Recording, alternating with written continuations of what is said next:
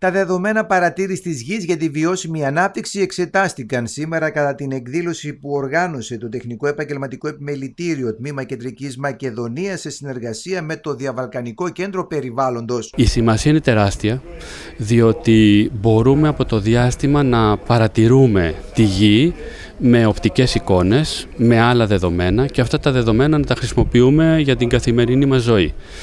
Από τη στιγμή που ξυπνάει ο καθημερινά ο οποιοδήποτε πολίτης χρησιμοποιεί περίπου κατά μέσα όρο 30 δορυφόρους. Εφόσον η πολιτεία αξιοποιήσει και οργανώσει συστήματα τα οποία παρακολουθούν ε, την κλιματική αλλαγή, ε, την, ε, μπορούν να προβλέψουν με μετεωρολογικές παρατηρήσεις είτε σε σχέση με, τις, με τα νερά ή οτιδήποτε ή με τη διάβαση των εδαφών φυσικές καταστροφές, είναι μια πρώτη μεγάλη οικονομία το να γλιτώσεις μεγάλα βάσανα που μπορούν να σου προτύψουν από έντονα καιρικά φαινόμενα, από ε, σεισμούς, από οτιδήποτε. Γιατί και αυτά τα θέματα αφορά η σημερινή εκδήλωση, δηλαδή τη χρήση των δεδομένων παρατήρησης γης για την ε, παρακολούθηση των ε, φυσικών καταστροφών. Στόχος εκδήλωσης ήταν να αναδειχθούν η σημασία αυτών των δεδομένων, να σκιαγραφηθεί το τεράστιο εύρος των δυνατοτήτων χρήσης τους και να τονιστεί η μετατροπή τους σε υπηρεσίες κοινωνικού ωφέλους. Τα δεδομένα αυτά είναι πολύ σημαντικά καθώς ε, λόγω των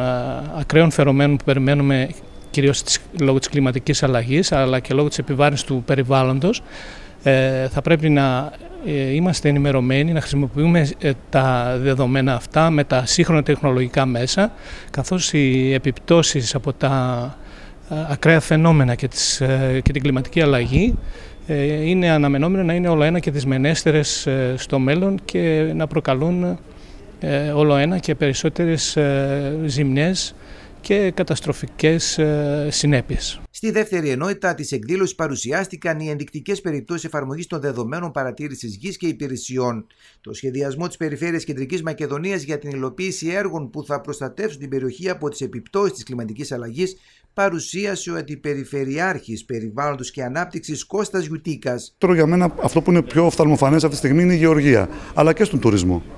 Δηλαδή, αν ε, ξέρεις τις παραμέτρους μιας περιοχής, την καθαρότητα της θάλασσας ή ας πούμε, αν θα υπάρχει διάβρωση των ακτών, όλα αυτά τα ε, φυσικά τέλος πάντων χαρακτηριστικά βοηθούν στην ανάπτυξη πολλών οικονομικών ε, ε δραστηριοτήτων του ανθρώπου. Ε, στο εξωτερικό χρησιμοποιούνται κατά κόρον. Για παράδειγμα, τώρα τις γέφυρες πλέον τις ελέγχουν με drones.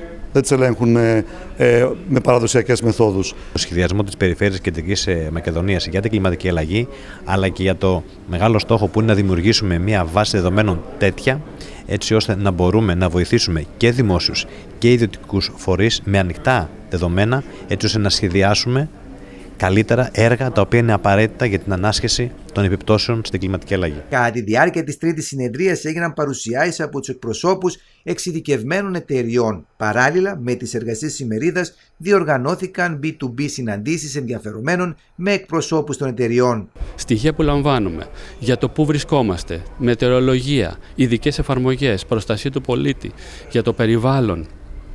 Άρα ε, έχει τη δυναμική το διάστημα, όπως έχει αποδειχτεί, και ειδικά μετά από πολιτικές της Ευρωπαϊκής Επιτροπής και νέα συστήματα, νέα, νέους δορυφόρους, όπως είναι ο Κοπέρνικος, ο Γαλιλαίο, το Έγνος, να μας δώσει σήμερα ακόμα περισσότερες πληροφορίες, ανοιχτά δεδομένα προς τις επιχειρήσεις και τα πανεπιστήμια και να χτίσουν πάνω από αυτά ειδικές εφαρμογές τοπικού ενδιαφέροντος για την Βόρεια Ελλάδα, συνολικά για τη χώρα, αλλά και για τις γειτονικές μας χώρες. Στην Ελλάδα τα ελληνικά πανεπιστήμια έχουν τεχνογνωσία και πολλά έργα βρίσκονται σε εξέλιξη. Ο κλάδος του διαστήματος είναι ένας χώρος με σημαντική ανάπτυξη που φτάνει σήμερα στο 9% κατά μέσο όρο. Παγκοσμίως ο τζίρος υπολογίζεται σε 200 δισεκατομμύρια ευρώ.